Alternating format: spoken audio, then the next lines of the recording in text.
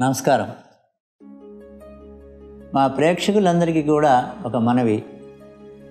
ఈ మాస ఫలితాల వీడియో నోటిఫికేషన్స్కి మా ఇన్స్టాగ్రామ్లో ఫాలో అవ్వాల్సిందిగా మనం చేస్తూ ఉన్నాం.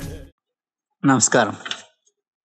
శ్రీ శార్వరినామ సంవత్సర రెండు వేల ఇరవై ఒకటి మార్చి నెల కర్కాటక రాశి రాశి ఫలితాల కార్యక్రమానికి స్వాగతం. హరి ఓ गुरुब्रह्मा गुरुर्विष्णुः गुरुर्देवो महेश्वरः गुरुस्साक्षात् परब्रह्म तस्मै श्रीगुरवे नमः। ॐ गणानां तु वा गणपति हवामहे कविं कवीनान्मुपमस्रपस्तवं ज्येष्ठराजं ब्रह्मणां ब्रह्मणस्पत आनश्रृण्वन्नोतिभिः सेदसादनं। प्रणवदेवी सरस्वती वाजेभिर्वाजिनीवती ధ్యేనామ విత్ర్యవతు శ్రీ గురుభ్యో నమ. శ్రీ మహాగణాధిపతిభ్యో నమ. వాగ్దేవి మహాసరస్వత్యై నమ. రెండు వేల ఇరవై ఒకటి మార్చి నెల కర్కాటక రాశి ఫలితాలు. సూక్ష్మంగా చూస్తే ఈ మార్చి నెలలో విద్యార్థులకి వారు ఆశించినటువంటి యొక్క వృత్తి ఉద్యోగ కోర్సుల్లో చక్కగా ప్రవేశాలు లభిస్తాయి. ఆరోగ్యం కుదురపడుతుంది బాగా ఉంది. ప్రయాణాలు కూడా కలిసి వస్తాయి. అన్ని విధాలా కూడా బాగా ఉంటుంది. ఆదాయం బాగానే ఉంటుంది. ఉద్యోగులస్తులకి అనుకూలమైనటువంటి యొక్క స్థాన చలనం కూడా లభించే అవకాశాలు ఎక్కువ ఉన్నాయి. గృహంలో శుభకార్యాలు కలిసి వస్తాయి. శుభవార్తలు కూడా వింటారు. అలాగే హామీలు మాత్రం ఎవరికి ఉండబోకండి అని చెప్పి మనం చేస్తూ ఉన్నా. దానికి నష్టపోయేటువంటి సూచనలు ఎక్కువగా ఉన్నాయి కనుక హామీలు ఎక్కువగా పెట్టుకోవద్దు.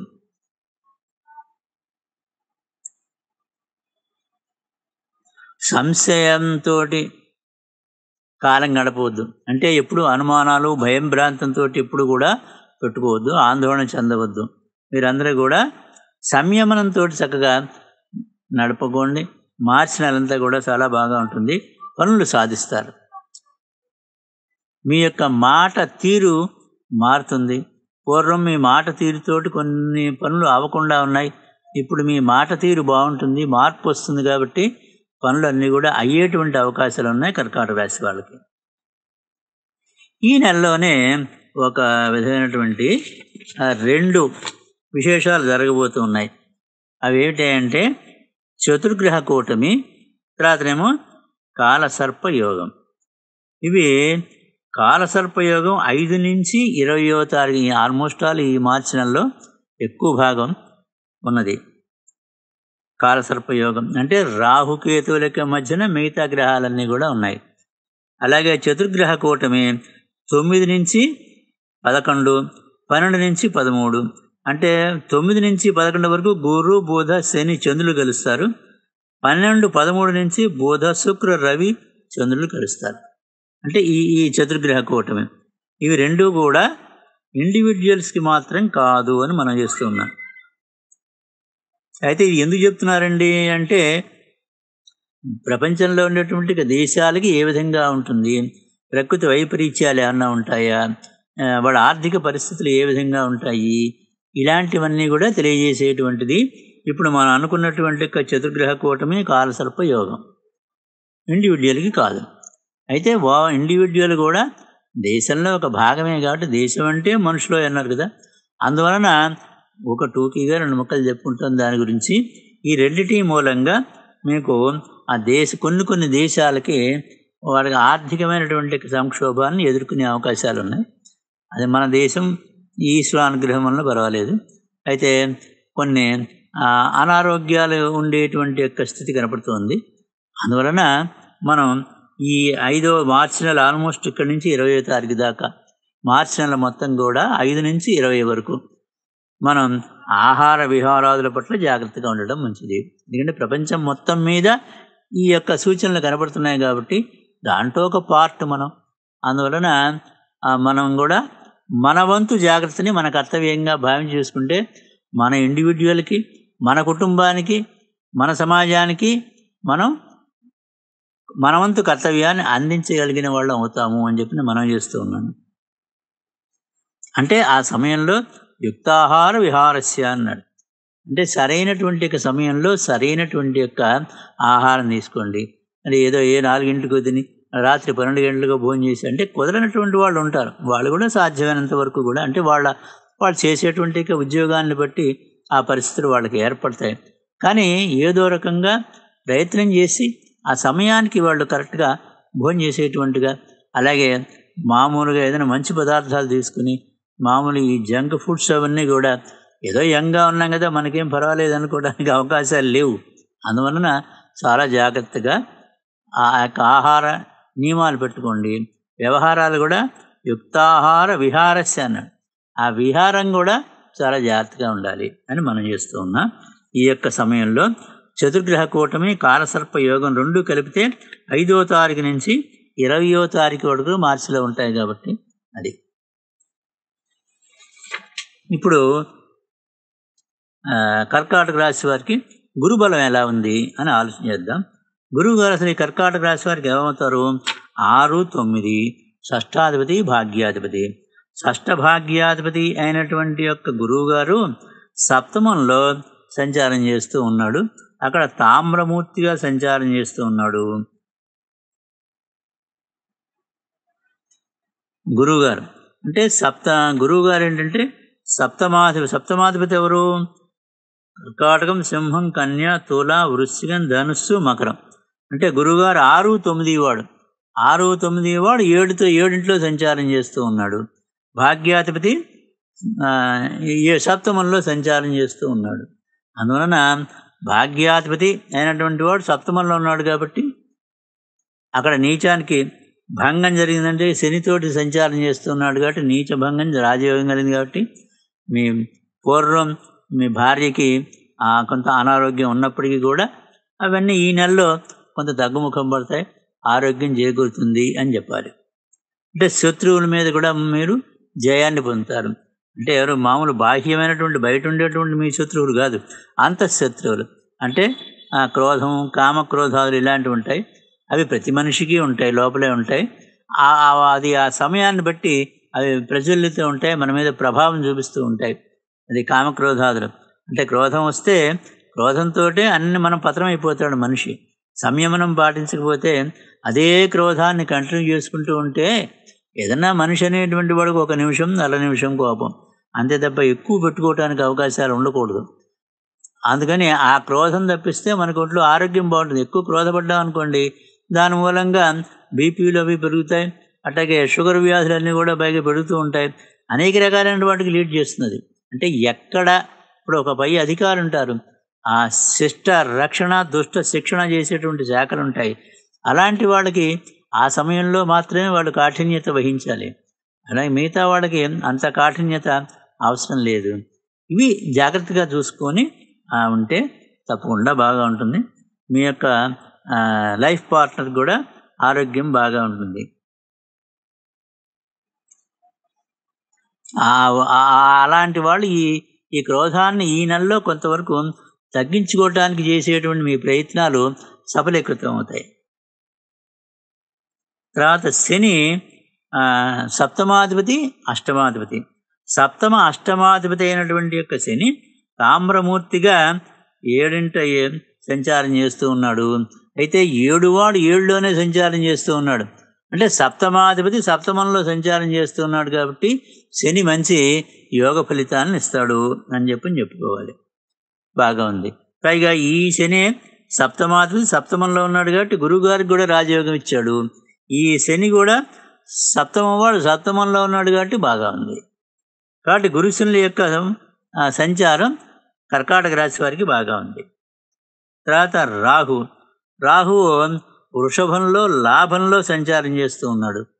రాహు వృషభ రాశిలో. అంటే ఇప్పుడు కర్కాటక రాశి వారికి వృషభ రాశి ఏమైందండి? లాభరాశి అయింది. కాబట్టి లాభంలో సంచారం చేస్తూ ఉన్నాడు రజితమూర్తిగా సంచారం చేస్తూ ఉన్నాడు. ఇది గొప్ప విశేషం. కాబట్టి రాహు యొక్క సంచారం అత్యంత యోగదాయకంగా ఉంది ఈ యొక్క కర్కాటక రాశి వారికి. అక్కడే కుజుడు కూడా సంచారం చేస్తూ ఉన్నాడు. కుజ రాహు యోగంలో ఉన్నారు ఇప్పుడు మీరు. అక్కడ కుజుడు కూడా మీకు ఉపయోగకారిగా ఉంటాడు. కాబట్టి రాహు సంపూర్ణ లాభంలో ఉన్నాడు రజితమూర్తిగా ఉన్నాడు ఉచ్చస్థితిలో ఉన్నాడు. అది రాహు యొక్క ఫలితాలు మీకు చాలా బాగుంది. అలాగే కేతు యొక్క సంచారం ఏ విధంగా ఉంది? కేతు సంచారం కేతు కూడా ఉచ్చ స్థితిలో ఉన్నాడు. ఎక్కడ? వృశ్చిక రాశిలో సంచారం చేస్తూ ఉన్నాడు. రజితమూర్తిగా సంచారం చేస్తూ ఉన్నాడు. అంటే ఐదింటి సంచారం చేస్తూ ఉన్నాడు. ఐదింట సంచారం మంచిది. పంచమ స్థానంలో సంచారం చేస్తూ ఉన్నాడు. అంటే మీ సంతానానికి మంచి అభివృద్ధిగా ఉంటుంది. పంచం అంటే సంతాన స్థానం. కర్కాటకం సింహం కన్యా తుల వృశ్చికం అంటే ఐదు వాడు. ఐదింటి సంచారం చేస్తున్నాడు ఎవరు? కేతువు.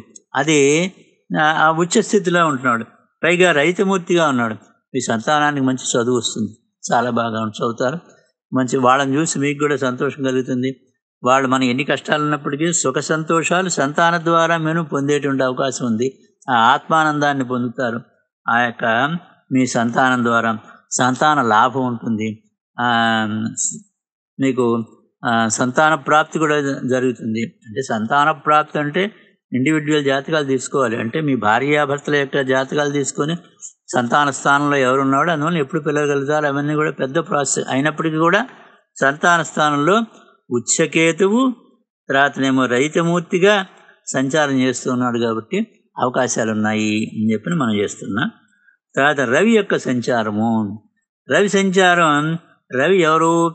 కర్కాటక రాశి వాడికి రెండు సింహరాశి అధిపతి కాబట్టి రెండవ రాశివాడు రెండవ రాశ్యాధిపతి అయినటువంటి యొక్క రవి ఒకటి నుంచి పదమూడు వరకు కూడా కుంభరాశిలో సంచారం చేస్తూ ఉన్నాడు.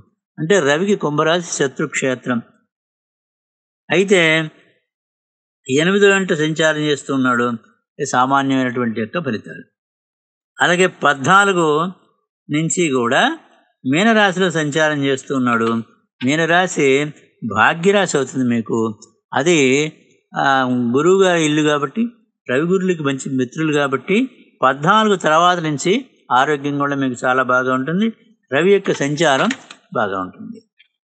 అనుకూలంగా ఉంటుంది. కుజ సంచారం.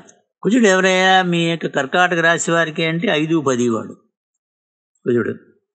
కర్కాటక రాశికి ఐదు పదివాడు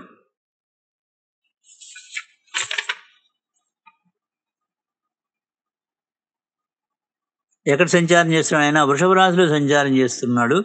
పైగా ఆ, వృషభ రాశి అంటే లాభంలో సంచారం చేస్తున్నాడు. లాభంలో సంచారం చేస్తున్నాడు కుజుడు. పైగా అక్కడ ఇందాక చెప్పుకున్నాం రాహుతోటి కలిసి సంచారం చేస్తున్నాడు. కుజరాహు యోగంలో ఉన్నాడు. రాహు ఏమో ఉచ్చస్థితిలో ఉన్నాడు. మంచి ఆ రహితమూర్తిగా సంచారం చేస్తూ ఉన్నాడు. పైగా లాభంలో ఉన్నాడు.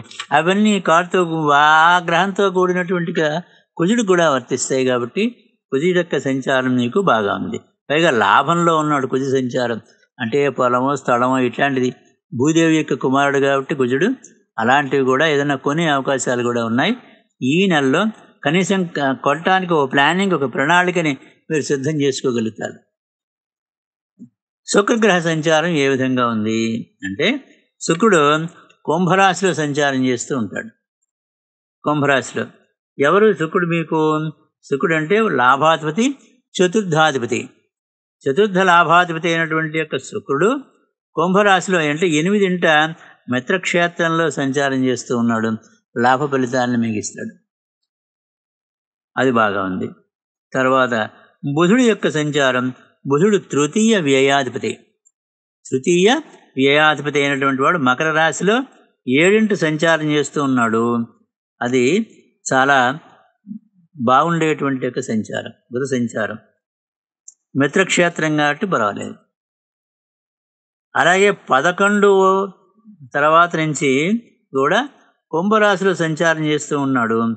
కుంభరాశి ఎనిమిదవ రాశి ఒక్క బుధుడు గోచార బుధుడు ఎనిమిదింటి సంచారం చేస్తూ ఉంటే సుఖ సంతోషాలను ఇస్తాడని చెప్పని శాస్త్రం చెప్పింది. కనుక బుధుడు యొక్క సంచారం మీకు పదకొండో తారీఖు తర్వాత దగ్గర నుంచి కూడా చాలా బాగా ఉన్నది. మార్చి పదకొండు నుంచి చాలా బాగుంది. అష్టమంలోకి బుధుడు వస్తున్నాడు. అష్టమ స్థానం వాడికి బాగా ఉంటుంది. మంచి సంచారం చేస్తూ ఉంటాడు. సుఖ సంతోషాన్ని ఇస్తాడు. అలాగే ఇప్పుడు విద్యార్థులకి మంచి బాగా ఉంది. వ్యవసాయదారులకి పర వాళ్ళకి లాభదాయకంగానే ఉంటుంది. వ్యాపారస్తులకి గురువు యొక్క అనుగ్రహం ఉన్నది కాబట్టి వాళ్ళకి ఎక్కువ లాభాలు రాకపోయినప్పుడు కూడా టర్న్ ఓవర్లు అది ఇది చేసుకుంటూ ఉంటారు. పర్వాలేదు. స్త్రీలకి మంచి యోగదాయకమైనటువంటిది. కళాకారులకి బాగా ఉంది. న్యాయవాదులకి రవి యొక్క సంచారం ఉన్నది కాబట్టి రవి సంచార రీత్యా మీకు పద పద్నాలుగు తర్వాత దగ్గర నుంచి కూడా న్యాయవాద వృత్తిలో ఉండేటువంటి వారికి డాక్టర్లకి చాలా బాగా ఉంటుంది. చేతి వృత్తి వాళ్ళకి కూడా బాగుంది. ఇది ఓవరాల్గా. ఇప్పుడు మనం మాసాధిపతుల గురించి మనం చెప్పుకోవాలి. మాసాధిపతులు అంటే దీంట్లో పునర్వసు నక్షత్రం మా వారికి దీంట్లో కర్కాటక పునర్వసు నాలుగో పాదం వాళ్ళు ఈ కర్కాటక రాశిలో ఉంటారు. ఒకటి నుంచి పదమూడో తారీఖు వరకు కూడా పునర్వసు నక్షత్రానికి మాసాధిపతి బుధుడు. అంటే ఇప్పుడు మనం ఎన్ని మాటలు చెప్పుకున్నప్పటికీ కూడా ఇంకా ఎన్నో మెసేజ్లు వస్తూ ఉంటాయి మా ఛానల్కి. అంటే నేను మా పునర్వసు నక్షత్రానికి అధిపతి గురువు గారు ఇది మీ లైఫ్ లాంగ్ శాస్త్రరీత్యా చెప్పబడినటువంటి యొక్క విశేషం పునర్వసుకి గురువు గారే కానీ ప్రతి నక్షత్రానికి ఒక నెలకి ఒక గ్రహం అధిపతిగా ఉంటారు. వాళ్ళని కూడా మనం చూసుకుంటూ ఉండాలి అని చెప్పిన ఎందుకంటే ఒక ఇన్ఛార్జ్ ఉంటారు కదండి. ఒక ఆయన మంత్రి గారే అనుకోండి.